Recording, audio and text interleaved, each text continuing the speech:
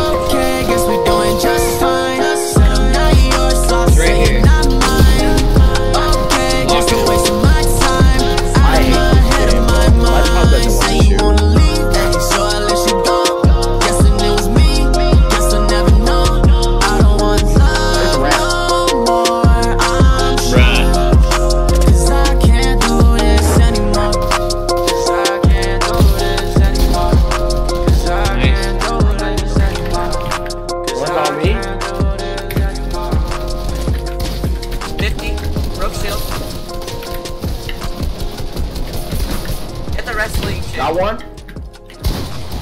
No, Dark Bomber 200 from me. I knocked one right here. Get the NASCAR.